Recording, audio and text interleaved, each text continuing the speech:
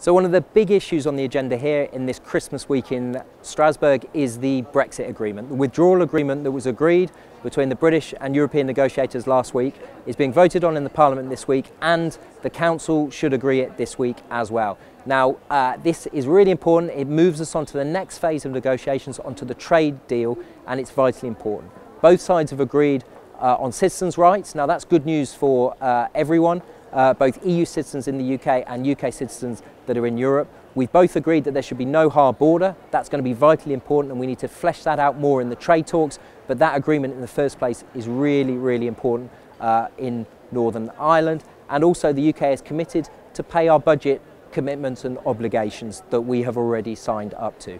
So it's the first phase, that's agreed. It's really important that we get past that phase and now talk about what is really, really important for the UK, and that is trade deal.